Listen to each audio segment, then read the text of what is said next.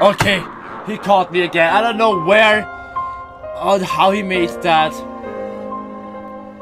Guess we're going to aim for a bad ending now. This next